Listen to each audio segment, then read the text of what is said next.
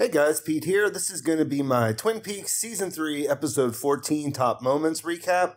This episode was pretty full of moments, so we're going to jump right into it. But just real quick, if you haven't seen Part 14 yet, this will contain spoilers. Alright, so it starts off with a moment right away when Gordon calls the sheriffs at Twin Peaks. There was a lot of good comedy in this short exchange, but I really liked whenever he paused after Lucy said the thing about her vacation to Bora Bora. Like he basically just sat there and then she had to pick back up again, and I love that. Frank tells him that they found the pages from Laura's secret diary and that there's something about two Coopers there. And Gordon says thanks, that he's really very happy that he told him, but he can't tell him anything else. He can't discuss it. Then we cut over to Albert talking to Tammy, and he explains case number one, the first Blue Rose case. It started the whole thing back in 1975. The woman's name was Lois Duffy, and two young field agents, Gordon and Phillip Jeffries, showed up, saw her disappear after being shot, and then noticed that she was also in the room and the person that shot. Before she disappeared, she said she was like the Blue Rose, and the implication seems to be that she was a doppelganger or a manufactured character, which we've seen in the recent season. But Albert asks Tammy what he, she should be thinking about, and it's the fact that the blue rose doesn't occur in nature. So these cases are like that. We find out from Diane that she did hear about Major Briggs from Cooper on that night that they met, then last night they spent together. And in that exchange, we find out that Janie E is her sister, or at least I should say her half sister. So the E in Janie E might stand for Evans, I guess. But yeah, even though they don't get along, she does know Janie E. And because they're estranged, that may be why she doesn't know that Dougie looks somewhat like Agent Cooper. So they call Las Vegas. Gordon calls. It's really funny. He only tells them that they're looking for a Douglas Jones. He doesn't mention the wife's name at all.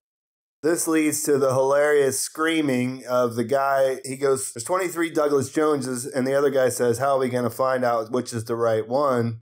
And the guy freaks out and is like, Wilson, how many times have I told you this is what we do in the FBI?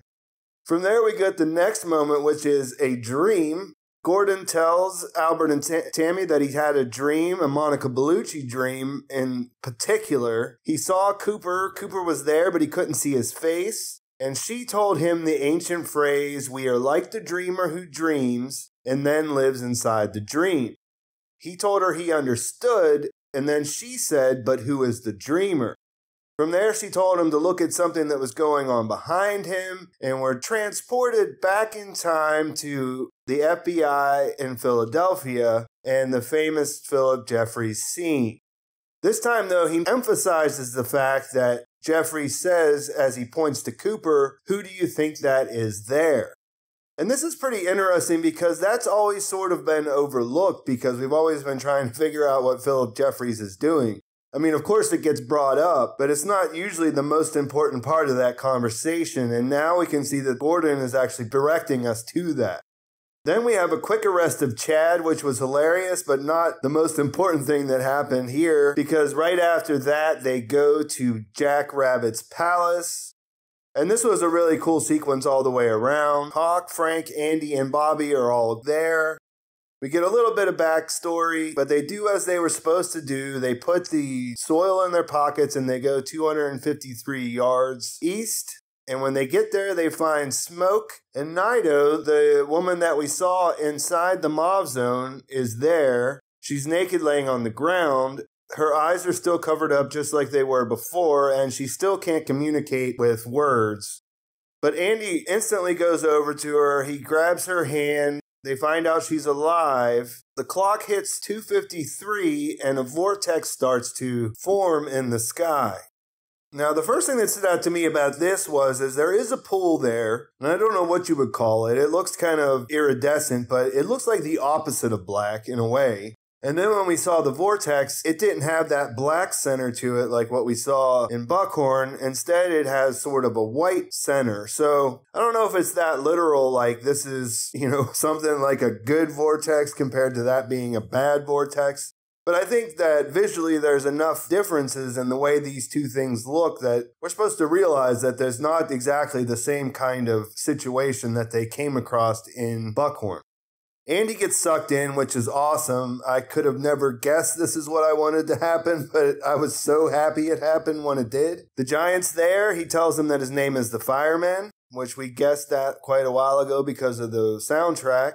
He holds up his hand, and then something appears in Andy's lap, which I can't tell you what that is exactly. But there's some mist involved and everything, and Andy ends up looking up above him in a portal or a window or a TV screen, whatever you want to call it, and he sees quite a few different images sort of flash by.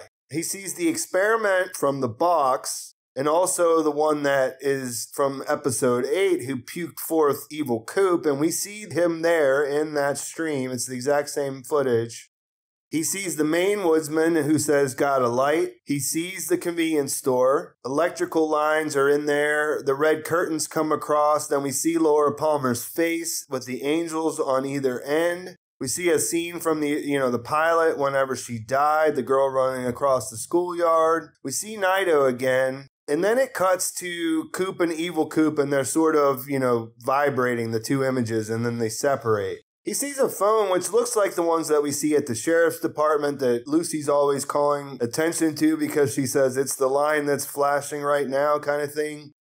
And then he sees himself bringing Lucy down a hall. He sees the telephone with the number six on it, and that's pretty much where it ends. One of the reasons why I said I was so glad it was Andy is because there is no words spoken here. Andy doesn't say anything. But the look on his face, it just kind of told me that he was understanding what was happening. You know what I mean?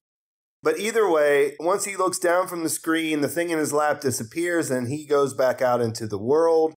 We see the other guys coming back in and around Jack Rabbit's palace. It's similar to what we saw with the woodsman, the flashing. We see they come from different directions. It has a much different effect here, though, because it's in the daylight and this is a really warm and colorful place compared to kind of the scary, spooky world that the, they were in in episode 8. So Andy comes after they do. He's carrying Naido. He says she's very important. We have to get her down the mountain. People are trying to kill her. We need to put her in a cell. Don't tell anybody about what happened. We find out that Hawk and Frank don't remember what happened at all. Like, Hawk says something happened, but they don't remember seeing the vortex or Andy being sucked in as far as we know. In the next scene, they go to the sheriff's department. They put Naido in the cell to keep her safe. Chad's there, and he's really kind of annoyed with the whole situation. There's a drunk there that has a festering, bleeding kind of wound, which we'll get to later, but he repeats everything anybody says this drives Chad crazy, but we see in when Naido makes just noises, he actually parrots those, or he could possibly be communicating with her in some way. But since I don't speak Naido, I don't know if he's talking to her or just, it's more likely that he's parroting her. It's actually pretty disgusting. The pool on the ground seems suspicious to me. It doesn't look like the blood that's coming out of his face. And there are a lot of different theories about this whole thing, so I'll stay out of the rabbit hole for right now. We catch up with James, who's working with Freddy, the guy with the mysterious green glove that we saw briefly back in part two. We learn the origin story of his glove, and it's pretty freaking interesting. He got it from the fireman, aka the giant, and it's a cool story, which I won't retell right now, but the thing that's crazy is that after he got this green glove that gives him superhuman strength, which we saw demonstrated when he was trying to crack the walnuts or whatever that was, the giant told him, I'm going to keep calling him the giant if you don't mind, just because I've been doing that for a really long time. So when I say the giant, I mean the fireman. But yeah, that he was supposed to go to Twin Peaks where he would find his destiny. So this character just happens to be the kind of character who could go into a store and buy this glove at the thing that I mean the guy didn't want to give him or sell him the, the glove. I mean it was a big ordeal, which he followed through. He got the glove and then was just like, hey, my destiny's in Twin Peaks. And he goes. When he gets there to buy a ticket, he finds out he already has one. So yeah, that was a really interesting development. It's kind of snuck in in the middle in a way, but yeah, it's pretty cool. Now, the next scene with Sarah Palmer is pretty much just the whole sequence was a moment. The opening of her face and the black inside, I mean, obviously the truck driver comes over, he's trying to come on heavy or come on strong, they get into it, but she opens her face, it's black inside. The only person we've seen do something like this was Laura in the Red Room, and she was full of light. Inside there, we see a hand. It has the other, the spiritual finger, the spiritual mound is a darker color than the rest. And then we see this crazy smile, and she bites out the guy's neck. What's really the most interesting thing to me beyond all the crazy details is, is that it's almost like she snaps out of it for a second and then she jumps back and she screams and she seems pretty genuine right there. You know, she says, I was just sitting here having my drink. But then, as the guy kind of has suspicion about whether she killed the guy or not, she sort of switches to a different tone. And we've seen that a little bit in her other scenes. So I just think that's interesting. But we go to the roadhouse, and at first I was kind of just like, oh man, not another one of these. But we do get some information about Billy, and we hear some things repeated from Audrey, or what Audrey had said. Like we hear about Tina, we hear about Billy bleeding from the nose and the mouth, that he's been gone for a couple days, nowhere he's, nobody knows where he's at. So these characters are, I, I can't tell you who they are. I guess I could go back and look at that episode where we first met Charlie and Audrey to see if that makes more sense. But I, I was just thinking at the end, what if the guy in the jail is Billy? He's clearly bleeding from his nose and his face. And that's what stood out about what she said. Like when Audrey says he's bleeding from the nose and the mouth, that sounds like maybe he got punched or maybe he had died and that was what he looked like. She describes it as gushing out of his face and being very scary. And what is this? I mean, the guy in the jail is, it's like over the top gushing out of his face. So that's kind of interesting, although it may just be an interesting coincidence. Who knows? But yeah, this was a great episode. I can't be happier that Andy got sucked up into the White Lodge, which is what I'll say that is. We don't know for sure how all that stuff works, but seeing that it was right near listening post alpha and that Briggs was our connection to the White Lodge in the original run, it seems pretty cool.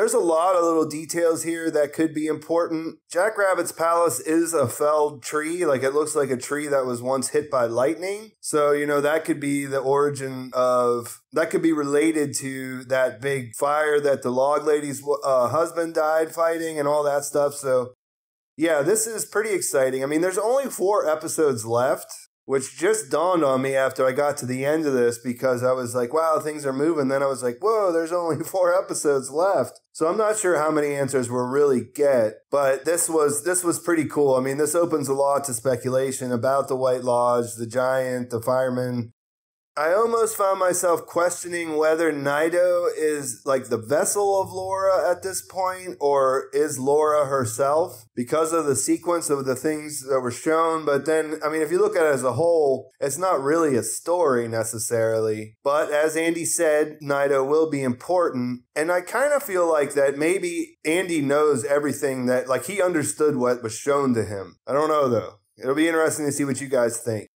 about the whole thing, really. What was your favorite part? I mean, it, it's like to me, it was one of those episodes where like a lot of these things would have been my favorite if they were in a different episode. But I'm gonna have to go with Jack Rabbit's Palace because that's really what I've been thinking about it wasn't a letdown, you know what I mean? Like it was cool. So let me know what you guys think in the comments. Please like this video if you enjoyed it. Please subscribe to my channel if you haven't already. Make sure you set notifications so you get to find out when my new videos come out. Please follow me on Twitter and my other social media accounts. Thanks for watching. I'll talk to you soon.